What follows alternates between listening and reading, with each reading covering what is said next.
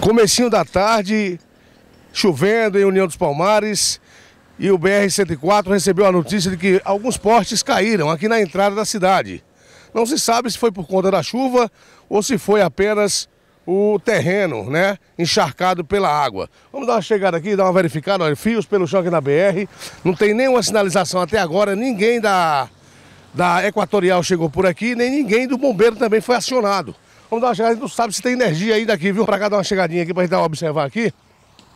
A gente vai atravessar aqui a BR. É, vamos dar uma sinalizada pro pessoal dar uma parada. Pode vir, vão, Rayane. Pode vir aí, mostrando aí os fios pelo chão.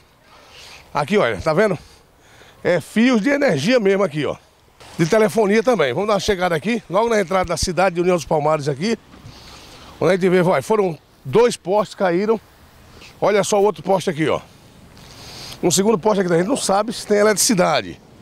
Embora que os fios estão encapados, né? Mas tem alguns fios também desencapados, a gente não pode chegar muito próximo, porque não sabe ainda se tem energia no fio.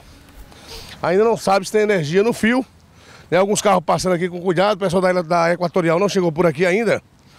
Olha, o poste, na verdade, ele torou mesmo. Olha, o poste torou mesmo, aqui foram dois postes, né? Que torou mesmo e caiu aleatoriamente. Vamos dar uma passada aqui pro lado de cá.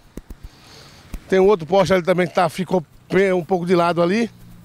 O pessoal sinalizou com algumas maneiras, os veículos passando devagar com cuidado aqui.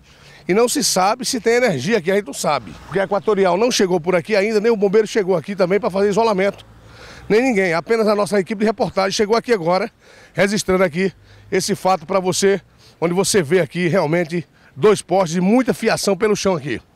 Daquele poste de lá, até lá na frente e cruzando toda a BR-104 até do outro lado.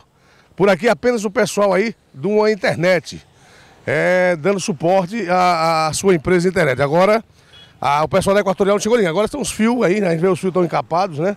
Mas a gente não vai correr o risco de chegar próximo, né? Vamos nos afastar um pouco aqui, portanto tá aí. Comecinho de tarde em União dos Palmares com chuva e dois postes caídos nessa tarde aqui de segunda-feira na cidade de União dos Palmares. Com imagens de Rayane para o portal BR-104, Alberto Vanderlei.